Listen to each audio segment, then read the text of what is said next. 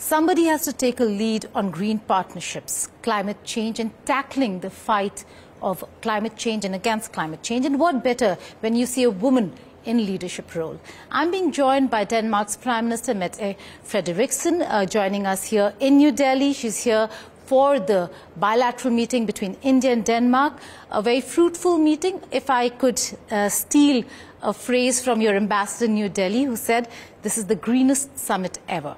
But globally, if you could tell us, what does this green strategic partnership mean? How is it a template for developing and developed nations? I think it means a lot because we have now to move from all the words, from all the speeches, from the targets and the goals to concrete results for people and uh, for the fight against climate change.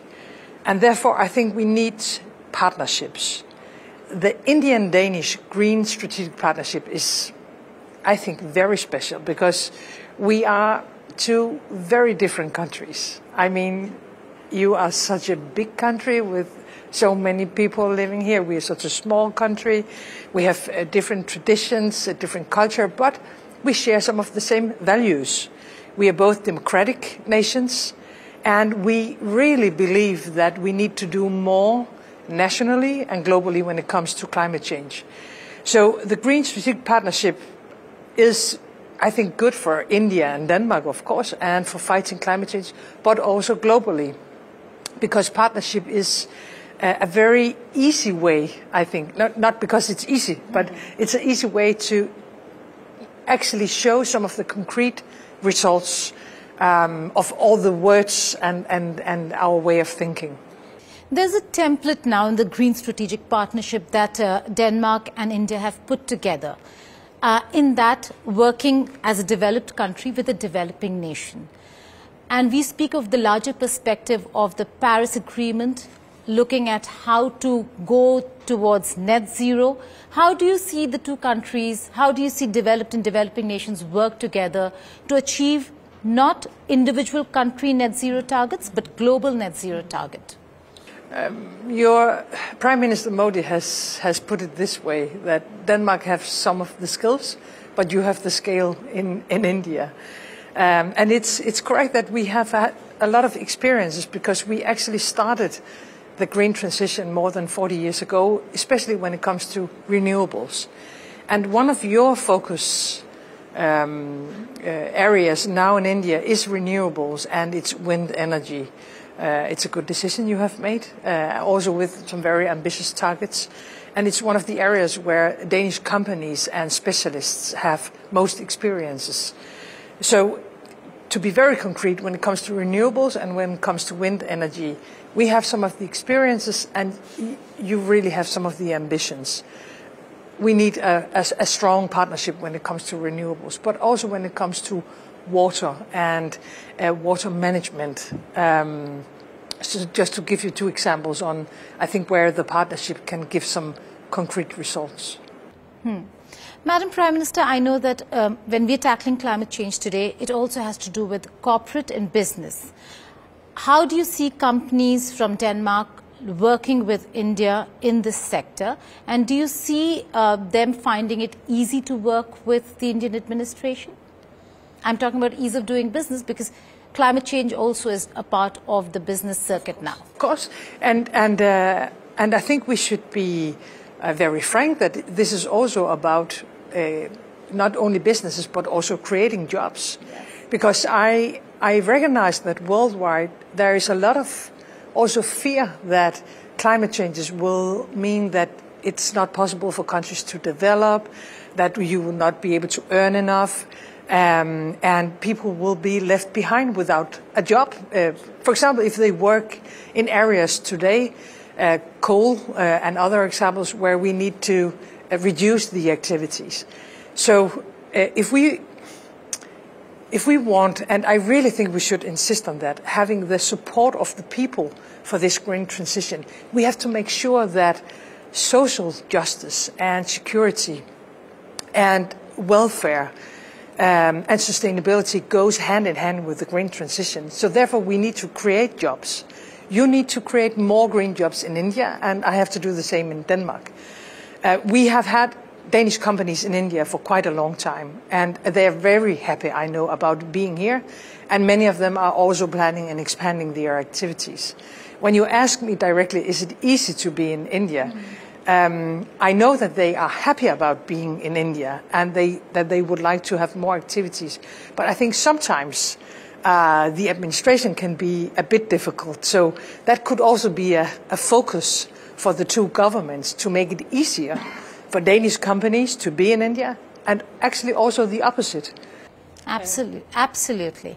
Uh, now, when you're in India and we speak strategic spaces, we can't be far behind uh, in our conversation on the issue of strategic, but vis-a-vis China, because supply chains are important. Uh, Europe is very important, but the world is waking up to the fact in a COVID era that uh, we can't be dependent on one country or the other. So again, talking about the same circuit, how important do you think countries like India, like Taiwan, really are when it comes to becoming key parts of the global supply chain? The, the climate crisis shows how fragile we are. Yes. Uh, nationally, locally, uh, globally. The pandemic, COVID 19, have shown exactly the same. And therefore, we cannot depend only on one country. I would like to see India playing an even stronger role on the global scene when it comes to supply changes, when it comes to climate changes, but also when it comes to um, filling in uh, as the world's largest democracy and one of the largest countries in, in, in, in all. So, uh, when it comes to climate changes, but also when it comes to uh, living in harmony uh, in, in our global community, because that is what we aim to do. Um, I would like to see India play a, a, bigger and stronger role, and we would be very supportive uh, for India's role, for example, in the UN.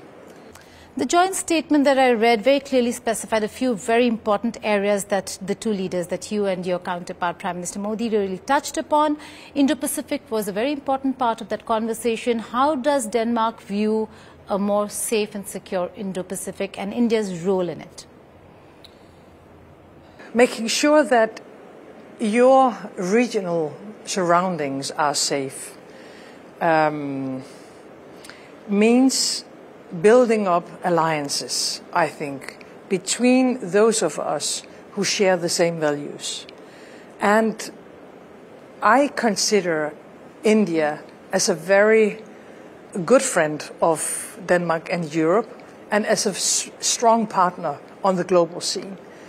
Um, and therefore, the alliances also between India and Europe has to become stronger. We had um, just some few months ago um, a meeting between India and the European Union uh, on video, unfortunately, mm. because of, of the pandemic. Um, and I think we should uh, support that relationship as well. But being safe and securing our safety of our people can only be done in a rule-based international community where we play by the rules, respect them, and uh, that democratic states and states with democratic values get even closer together. I know my time is absolutely running out before I let you go. Afghanistan is an important uh, country um, being a woman yourself, looking at how women are being now treated in Afghanistan, how important is it to ensure an inclusive administration in Afghanistan? And was that a major part of your conversation? Were you briefed by India? Of course, we had uh, a discussion about Afghanistan, and we already started it when your Minister of Foreign Affairs visited Copenhagen some few weeks ago. Uh, the situation in Afghanistan is terrible um, in general, uh, but especially when it comes to the rights of women and young girls. And I really fear that what we have seen in, in the last years, you know, women attending university, uh, girls playing football. Uh, um, you remember uh, the painting in the in the streets of Kabul with girls showing their hair and have, having equal rights and beautiful faces. That they will all be thrown back to the uh, dark ages. To the dark ages, uh, and to a violent regime uh, without any human rights, and therefore the world needs to stand together. Uh, in, uh, of course, uh, demanding an inclusive government, as you said, but also in direct support to girls, women's rights, human rights in, in general, and humanitarian aid because the Afghanistan people are suffering. They were already suffering before uh, what took place some, some weeks, months ago, but uh, the future will probably be even worse. So, uh, of course, we discussed uh, Afghanistan, of course. And finally, human rights is a very important part of conversations between Europe and the world globally. Um, you say India and Denmark share democratic values. Do you see India um, being as democratic as um, Denmark wishes it to be? There are certain criticisms that come from across quarters uh, when it comes to certain areas, including Kashmir. But we've seen a lot of support coming from Denmark, India's way.